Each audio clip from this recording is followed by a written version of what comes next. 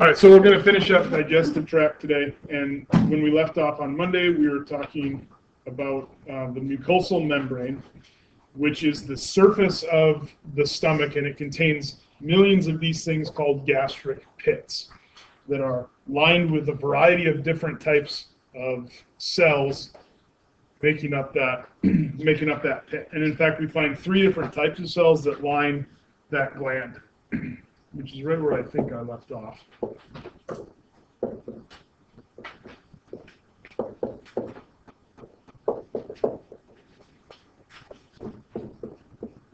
Okay, so three cell types line the gland. And I actually have a single gland here that we've kind of blown up to illustrate the different types of cells that uh, line the gland. And, and really, there's more than just three, but there are three that are most important. On that one, I just have one question. Um, we ended on mucosal membrane, correct? So does like this go under? So what, did we really, like on mucosal membrane, I didn't put contains millions of small pits? Yeah, yeah, we that. Gastric pit leads to gastric gland. Produce, produce cocktail protein digesting enzymes. Yes. So this goes right under there. Okay. Three types of cells. So this guy here, which is produce cocktail proteins digestion, digesting enzymes, are you good now? Yes, sir, thank you. So three types of cells line the gland. And really, it's more than three, but three that are going to be pretty important here. You're going to have one type of cell that's an acid secreting cell. And these acid secreting cells, uh, also known as parietal cells, are going to be cells that generate hydrochloric acid, which is a very strong acid um, in the stomach. It's referred also to as gastric acid. And this is actually what's going to decrease pH to allow denaturing of proteins to allow better enzymatic digestion of those proteins. We're also going to have a group of cells called mucus producing cells or secreting cells.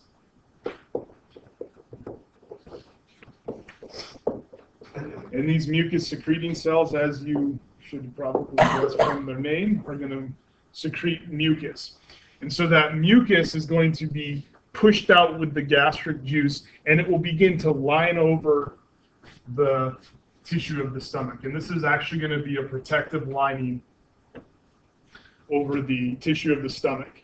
So when that acid gets released out of the uh, out of the gastric gland into the lumen of the stomach, it's not going to break down the proteins that are inherently supposed to be there because they're your proteins that make up your cells in your stomach. It gives a layer of protection.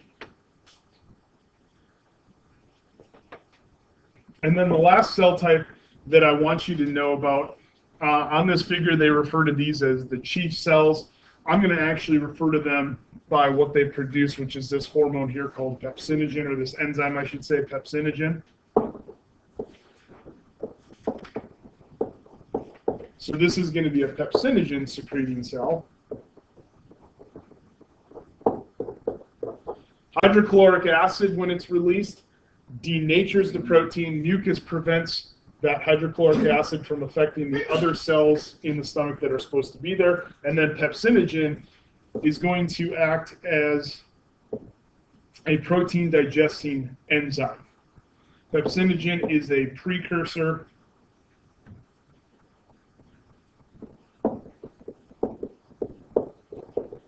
to pepsin, which is the protein digesting enzyme specifically.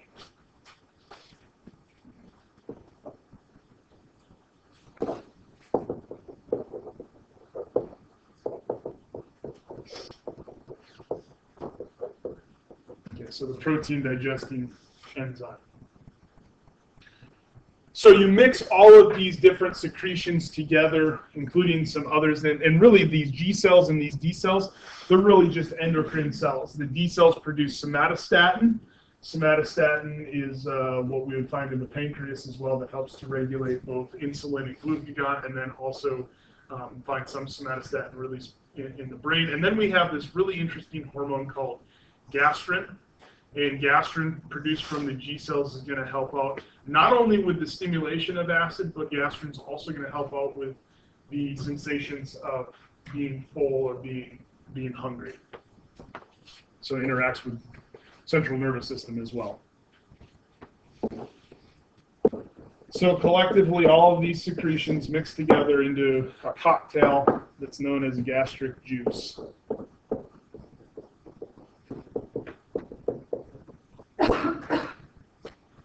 So this gastric juice is going to be released from the gastric pits into the lumen of the stomach. And as it's released into the lumen of the stomach, the food that you consume is going to be mixed with the gastric juice, and in particular the acid and the enzyme components. Acids and enzymes. So uh, let's consider um, let's consider a hamburger. Hamburger is made up of basically muscle tissue from beef cattle. And that means that you're going to have things like actin and myosin loaded up in the in the tissue, cell membrane called sarcolemma. All of that stuff is going to be present, and you're going to use your teeth to begin to chew that food up and begin to break it down mechanically, mixing it with some salivary amylase, which really isn't going to have much of an effect here because it's animal product rather than a potato or some other starchy food. Uh, and then it gets delivered as a meal bolus into the stomach. That food gets chopped up and churned in the mechanics of the stomach, mixing it with gastric juice. Those enzymes and those acids begin to interact with the proteins. And, and when I when I'm talking about proteins, I'm talking about actin and myosin from that muscle tissue, but I'm also talking about the receptors that are bound up in the membrane and the free enzymes that are floating around in the cell. I'm talking about anything that is a protein made up of amino acids is going to begin to be broken apart and broken down. So protein and then also the connective tissue.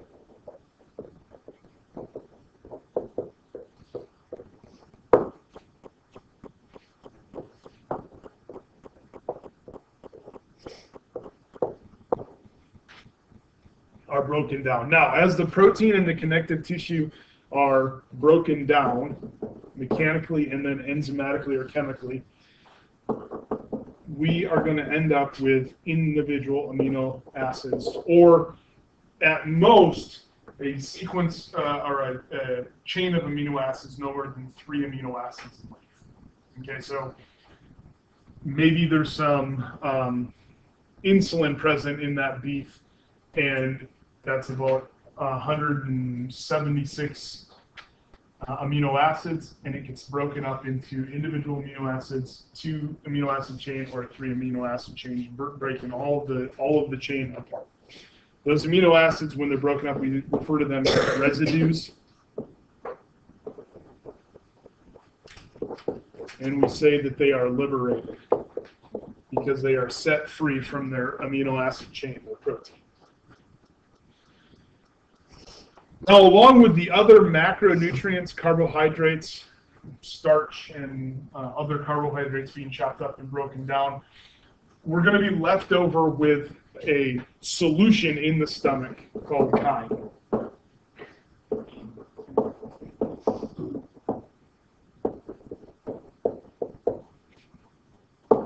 And this is what's going to be delivered into the small intestine.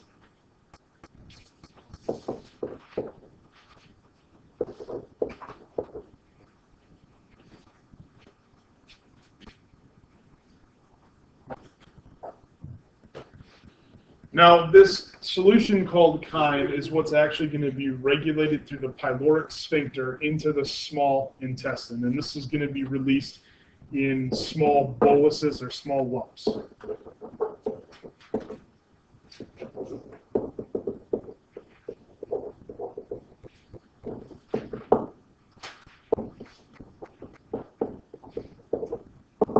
So chyme's delivered to the small intestine, and it's going to be regulated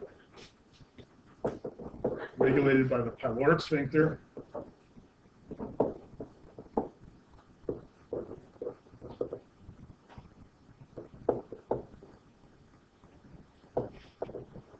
which is just simply a smooth muscle ring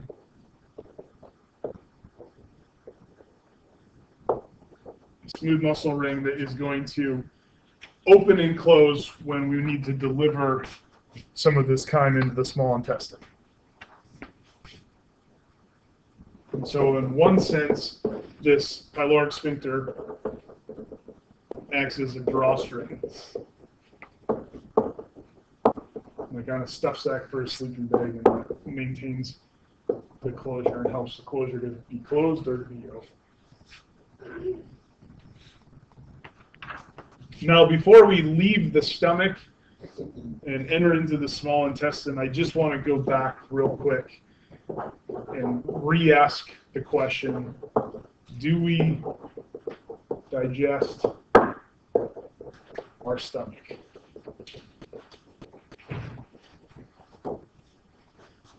If we can digest a hamburger, which is made up of cells, and our stomach is made up of cells, do we digest our stomach? And this would be really problematic. You probably are already thinking, no, we don't, but we got to make sure we understand the physiological reasons. And the reason that it would be problematic is because our stomach is made up of cells, because it's a tissue, it contains tissues, and it's an organ, so those cells contain proteins. And the inherent proteins that are supposed to be there they're going to denature in the presence of acid. They would be exposed to pepsinogen and pepsin and be broken down just like the hamburger that you consume. So certainly since there are proteins that are present and because gastric juice digests proteins, it seems like we have the ingredients for a perfect storm that would be constantly digesting our stomach. And so it's possible that we do and that we regenerate it. That would be so energetically demanding, we'd have to regenerate millions and millions of cells almost constantly.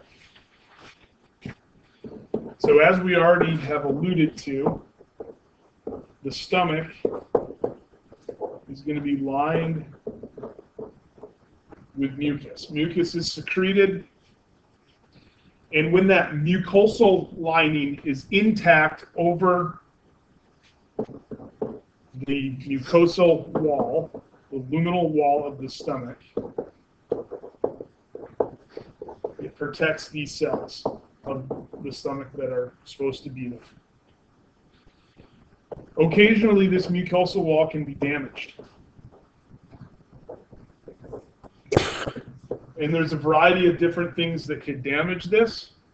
Some pharmaceutical use can damage the mucosal wall. Stress can damage the mucosal wall and make the, the wall less integral. Uh, there's a bunch of different things that could happen. And whenever it's damaged, that means then the stomach is no longer protected. Those cells are no longer protected and they do begin to digest. And as those cells digest, we form what's called a peptic ulcer.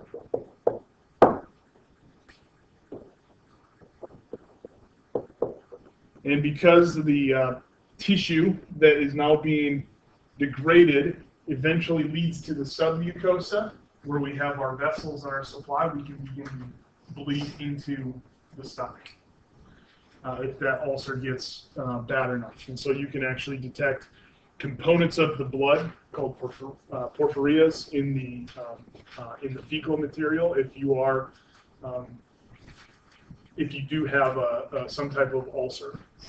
Um, so the biggest thing to do here is to repair or allow the body to repair that mucosal lining, and that will begin to allow that process to stop and then the ulcer to degrade and go back through healing.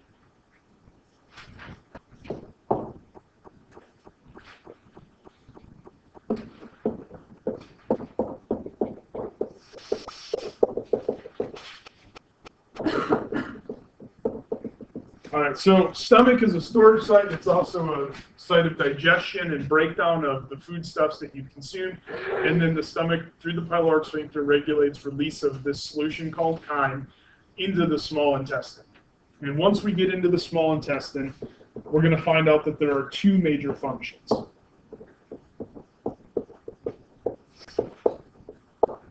Those two major functions are going to include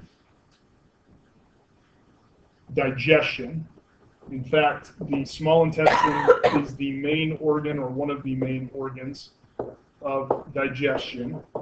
And whenever you hear the term digestion, you should be thinking breakdown of foodstuffs, breakdown of the material that you have consumed. Now, most of what happens here is going to actually be more chemical digestion rather than mechanical digestion. But we'll see more protein broken down. We'll begin to see carbohydrates and lipids. And then we have the additional, to facilitate the digestion, we have additional enzymes that are released from the cells of the small intestine and then also from the pancreas. So additional enzymes mixed with the chyme. We're going to have uh, pancreatic amylase, which will help to digest the any starch materials. We're going to have additional um, protein digesting enzymes, both chymo, uh, chymotrypsin and trypsin will be deposited into the small intestine to start breaking up those those uh, proteins that are present. What does that say? Additional enzymes enter. Enter from the small intestine and from the pancreas. So the cells of the small intestine can produce enzymes and release them. We're also going to have pancreatic enzymes that are generated and that are released into the common bile ducts and deposited into the small intestine. Also bicarbonate to neutralize the acids because we no longer have an intact mucosal lining once we enter the small intestine. It's not protected the same way that the stomach is. So digestion is uh, an important function of the small intestine. The small intestine is also going to be our main point of nutrient absorption.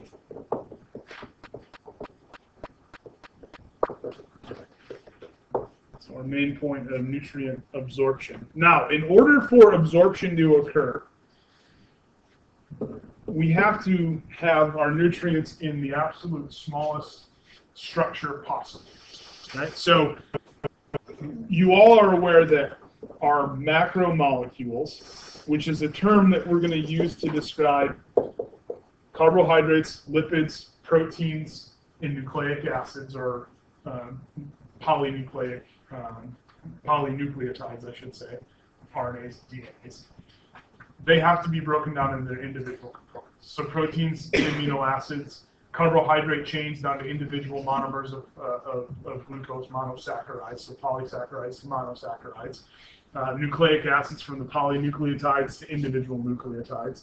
And for lipids, really it just has to break apart lipid mem- most mostly we're talking about membranes when we're when we're thinking about lipids. We just have to break those lipids apart. We're not really taking an individual lipid molecule and breaking it down further. An individual lipid molecule is the small, smallest component and that's still a really big molecule. So we're going to have to do something special with our lipids so our macromolecules we have to go from their poly form their polymer form to their monomer form so from the chains to the individual component molecules.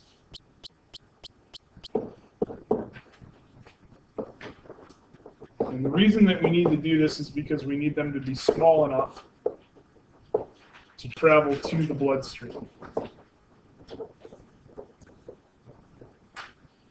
So to cross the lining the cells lining the lumen of the small intestine and across the capillary te- uh, the capillary cells, we need our molecules to be really small in order to facilitate that process.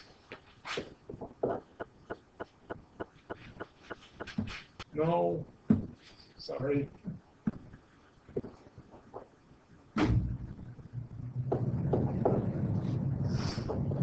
So in the small intestine, about 90% of all nutrients are going to be absorbed.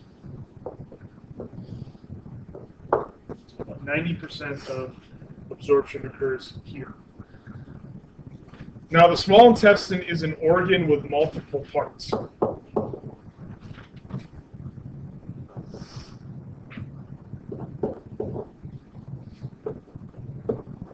And we're going to define those parts as anatomic regions or anatomical regions. And there's going to be three that are distinct. Interestingly enough, though, it's not necessarily the anatomy. I mean, positionally, yes, we're going to see that about the first 10 to 12 inches is a uh, part of the uh, small intestine we call the duodenum, and then the remaining 10 feet would be the uh, jejunum and the ileum. Really, the anatomical regions are defined more properly based on their changes in function. So the three anatomical regions are going to vary in function.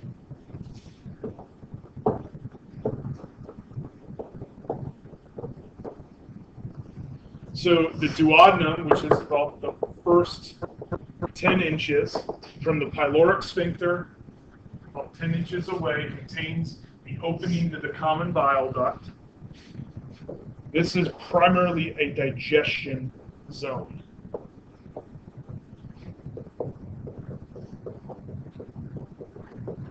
Okay, so primarily digestion. And what that means is proteins are further being further broken down, carbohydrates being further broken down, but nothing's really being absorbed. So let me ask you a question. Let's see if we're beginning to think like physiologists yet. What should the luminal wall look like?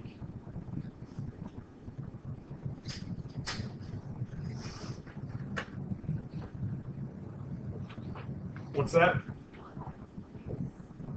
No, it's not going to have mucus lining.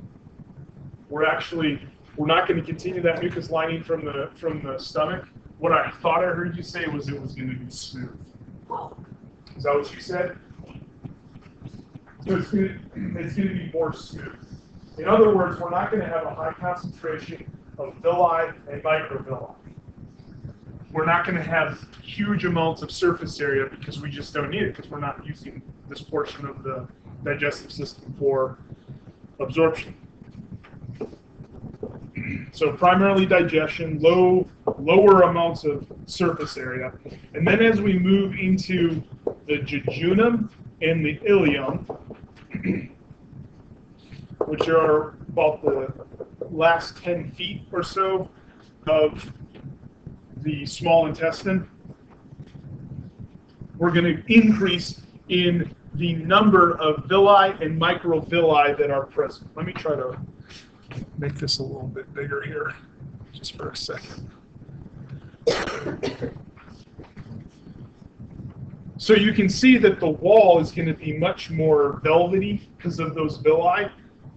and, and this is an individual villi here. And if you can see it, there's small little microvilli for each of these membranes uh, from the cell. So the cell membrane also has microvilli, and then the cells are folded up and invaginated into villi. All right, and then you can see that you have blood supply and you have lymphatic supply in each of the villi. So this is a massive amount of surface area, and the luminal wall changes greatly in appearance as we transition from the duodenum into the jejunum and continues into the ileum. So these two portions of the small intestine are going to be heavily involved in absorption. This is very apparent because of the increased number of microscopic folds. 10 feet. Increased number of microscopic folds in that mucosa. For those two portions of the small intestine. Villi is the term that's used to reference to the, the bigger foldings. And again, just by having villi, we increase the surface area. We also, in the same amount of distance, so if I draw a line here, this is distance, and let's say that it's one nanometer in length. And if it's flat, I might be able to get one cell. Over that same nanometer, if I add in a villi, I might be able to triple or quadruple the number of cells that I can get in. That's like question. So they don't increase like the length, they just increase the width. No, uh, well, um, they're foldings, and so it's it's it actually, if you were to grab onto, if I pulled up the paper here, this would represent the villi, and so if I were to grab the villi and I were to pull it out, it would be a lot longer. So this distance here to here, if I were to straighten that out, in the same distance here, the distance is going to be more along the lines of like that. Does that make sense? And then you can fit in more of those cells, and because you can fit in more of the cells, you can have more of the microvilli, which are the same type of folding, only in the cell membrane rather than in the whole tissue.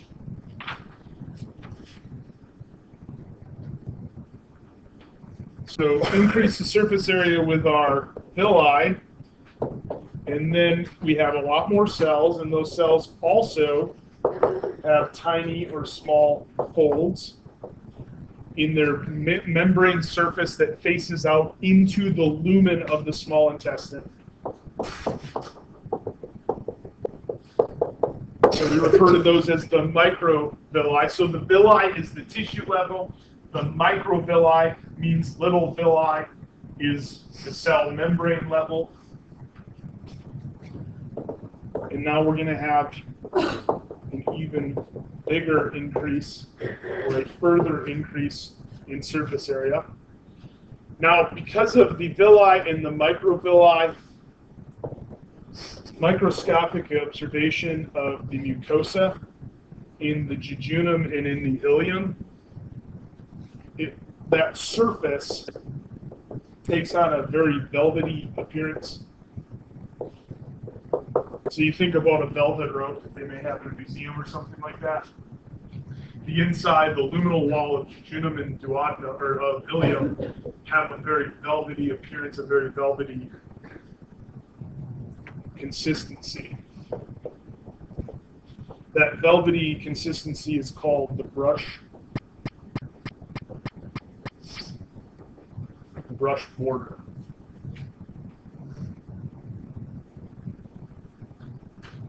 Okay, let me get in.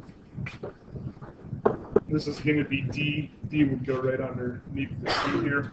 Just before I move on, I want to kind of illustrate what the effects are of the folds and the villi and the microvilli that we find in the jejunum and the ileum. We know that it increases surface area. If you could take a guess, by how much? So increase the surface area compared to the duodenum by how much?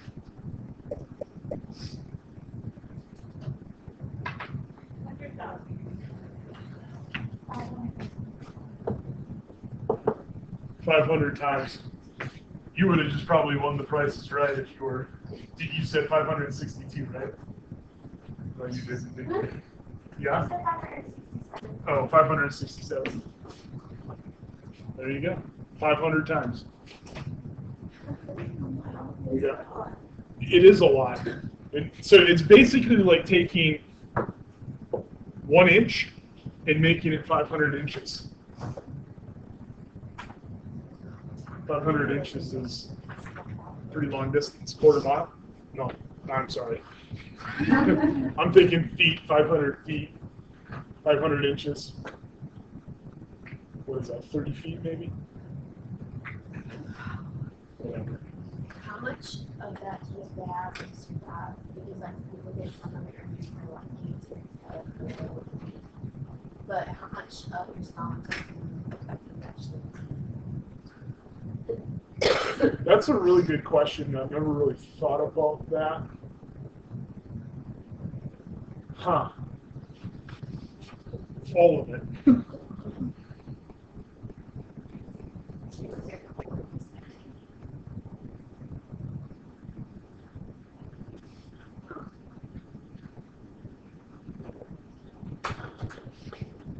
Yeah, I mean, you'd want, uh, I guess you really need to change your diet. And there are probably certain types of foods like solutions and things like that that you can drink that are going to absorb heat more easily. Good question. I don't know. If you really want to impress me, you'll come back with an answer on Monday. You don't have to, but I know you're real busy. She know, was just like, dang it. I don't want to answer any, ask any questions anymore.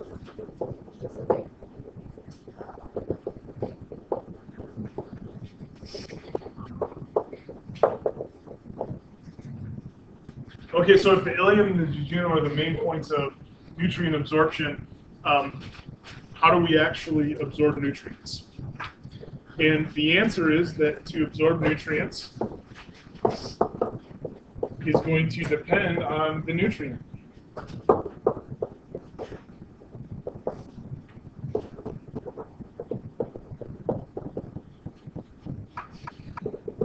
So nutrient dependent, we'll just kind of take these in turn and we'll start out with proteins. Okay, so what you're looking at here, you've got capillary blood supply at the bottom, and then you have the intestinal lumen here at the top, and then these would be mucosal cells that make up that make up the uh, the small intestine. So capillary is going to be contained within that submucosal tissue layer. So here's an example of a really, really long protein. That protein is too long to be able to cross through into the blood supply. So proteins first have to be broken down. And again, we're doing that with increasing acid, decreasing the pH, and which denatures the protein, and then adding in enzymes that when the when the protein is in its linear form, those um, enzymes, chymotrypsin and trypsin, and even carboxypeptidase, peptidase is going to cleave certain amino acids or between certain amino acids, breaking apart their um, peptide bond. Okay, and then eventually we're going to have a small pool of individual amino acids. Now this figure shows that we have individual amino acids, amino acids that are just a single amino acid not bound up with other amino acids through a peptide chain. I've actually recently read some um, new information that we can get away with as big as three individual amino acids still covalently bonded together and move them across into the uh, intestinal mucosal cell and then into the into the bloodstream. But a large protein like insulin has to be broken up to to much much smaller components. So we're gonna break down the protein into individual amino acids. I'm going to just abbreviate that as AA. So that's amino acid. And from the small intestine, those individual amino acids are going to be taken into the mucosal cells. Now, to be brought into the mucosal cells, we actually have to use active transport.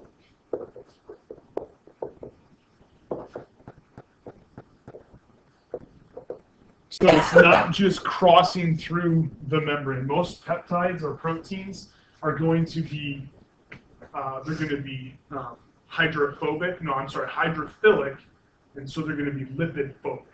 They're going to not really play well with lipids. There are some amino acids that are more lipophilic and can just cross through, but most of them are lipophobic, and so they're not just going to be able to easily move through the membrane. So we're going to have to have a transport mechanism. It's typically an active transport mechanism.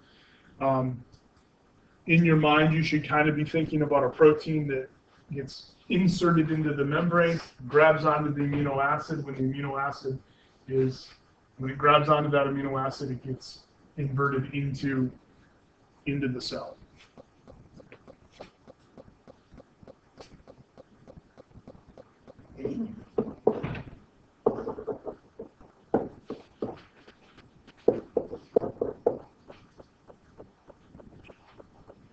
Once in the mucosal cells, so once we have our amino acids inside of the mucosal cells,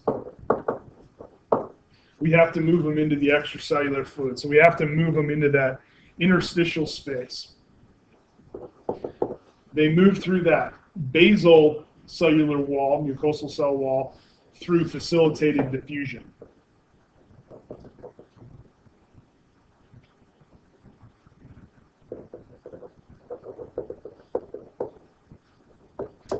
So through facilitated diffusion.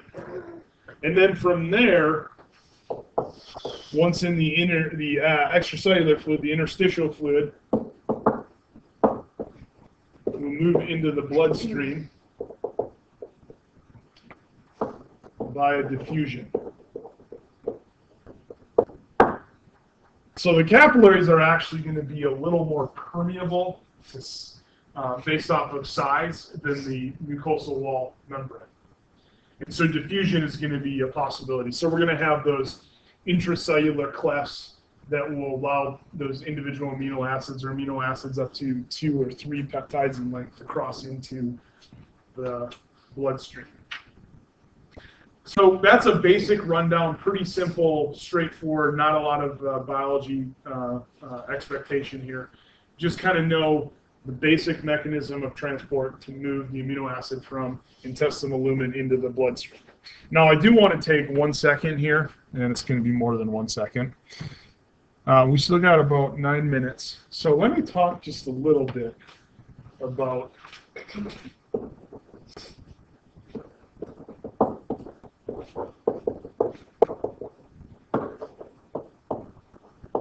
recombinant growth, bovine growth hormone. Any of you heard of recombinant bovine growth hormone before? Yeah, it's actually illegal in the state of Georgia to give your cows recombinant uh, uh, bovine growth hormone, which would stimulate milk production. Uh, and the reason that is, is because people were afraid that having recombinant bovine growth hormone used, that it was going to cause some sort of issues in humans that consume the milk. Okay? Um, it amazes me that that was a law that was passed in the state of Georgia, and it makes me think that politicians in Georgia are very scientifically naive. And you're going to see why here in just a second. So, it's a growth hormone, it's a hormone, which means it has to be in its complete structure to have some sort of effect. Okay? It is a peptide hormone or a protein hormone. So, if I were to consume bovine growth hormone, let's say in a glass of milk. The original proposal was that that hormone would cross into the bloodstream and it would interact with my growth hormone receptors and would cause me to have growth, potentially leading to cancer, something along those lines. It was going to cause some sort of disease or adverse problem. It's a protein. It's a proteinaceous hormone. So what's the problem with that idea? How is this how is this going to get digested? Once I consume it into my in through my mouth, down into the digestive system, it's going to have to go through the stomach and it's going to have to go through the duodenum. By the time it gets into the stomach and the duodenum, it's going to be exposed to a high level of acids. It's going to be exposed to uh, peptide and protein degrading enzymes, and I'm going to break it up into individual amino acids. The amino acids that are present in bovine growth hormone are the same amino acids that you're going to find in all of the other sources of protein that you consume, both from animal and from plant food sources. In other words, by having bo- bovine growth hormone present in the milk, it's just going to supply me with essential amino acids that I need in my diet.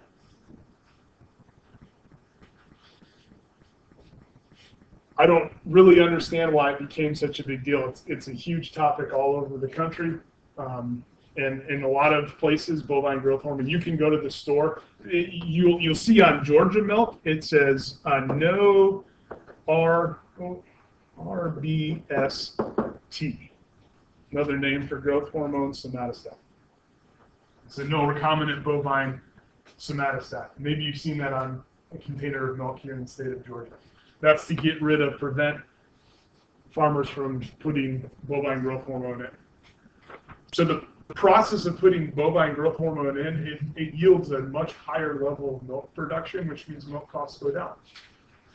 Milk is gonna be actually cheaper. Right now, the cheapest milk in the state of Georgia is about two fifty a gallon. Places where you can buy growth hormone that's produced, or uh, milk that's produced from growth hormone can be under two bucks a gallon. So if you buy a gallon a week, you can do the math, and you can see you're saving three hundred bucks on your grocery bill every year. Anyways, um, so bovine growth hormone no longer used. The way that farmers, it, it was really labor intensive. Farmers had to inject each of their individual cattle. They had to inject directly in the bloodstream because they couldn't just give it to them orally because they just digest it and become amino acids and would never have any sort of what's the problem? Like, did they just not research it, they? The problem, the problem is ignorant, stupid people, Yeah, which is one of the main problems we have in the United States anyways. Yeah, it's people who don't, who, who never really took the time to understand a simple concept of digesting proteins that I just covered in five minutes and you're all now basically experts on it. So you hopefully can see things like this and say, uh, that's not really physiologically accurate. Is that the same with every growth hormone or just that? All, every growth hormone, because they're all, they're all protein peptide hormones. Mhm. So all of it's food, everybody makes that. Because I mean, that's pregnant in a lot The, of. cons- the, the, the bigger concern for me is antibiotic use in, in farm animals. There's some real important stuff with, with, uh, um, with antibiotic use. And, and I think we need to probably move away from using antibiotics or figure out better ways to use antibiotics. whenever, um, whenever people go, what do you get?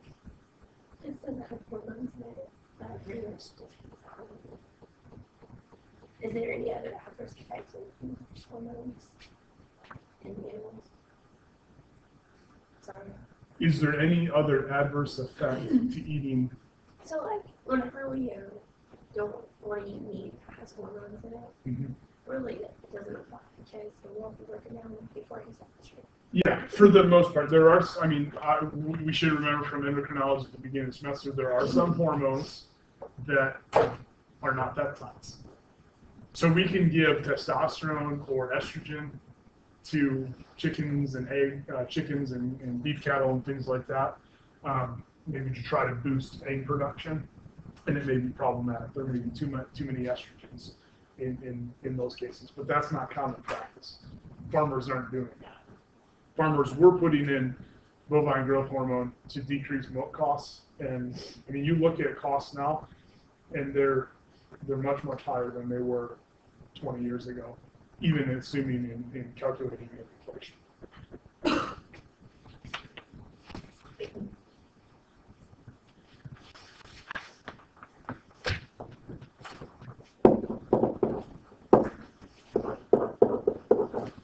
Okay, so are we out of time? No, not quite yet.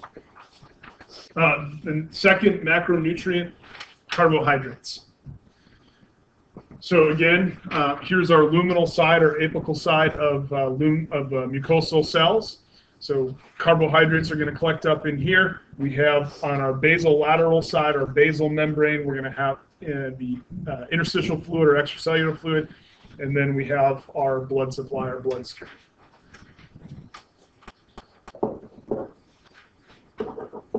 So when you consume carbohydrates, whether it's from a potato or from a hamburger, most of the time, those carbohydrates, majority of them are going to be polysaccharides, which is the polymer of carbohydrates.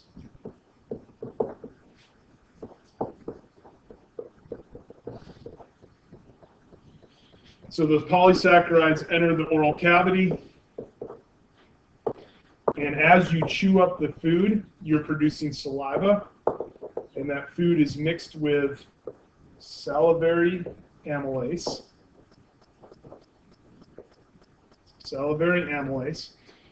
And initially, the polysaccharide is going to be broken up into disaccharides.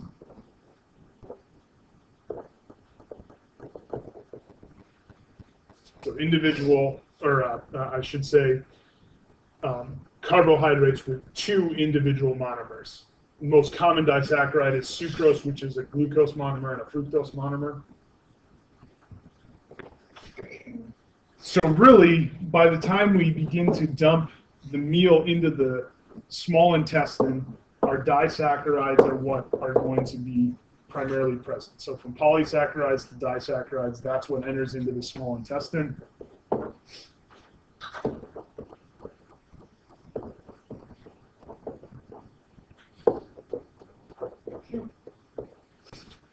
In the small intestine, we mix in a second amylase from a pancreatic source. This pancreatic amylase is delivered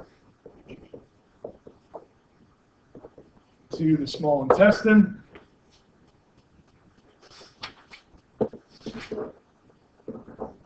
And those disaccharides, when exposed to pancreatic amylase, are broken to monosaccharides.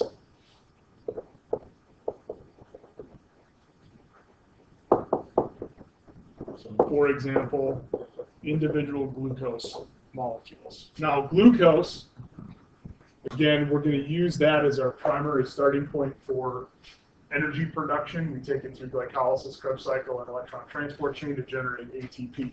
So this is going to be one of our most usable forms of carbohydrates, is to get it down to the level of glucose. Fructose, which is an uh, which is an isomer of glucose, can actually enter into the Krebs cycle or enter the glycolysis from a slightly different enzymatic pathway. But none the same, we need fructose or glucose, which are individual monosaccharides. Let me give me uh, just 13 more seconds here.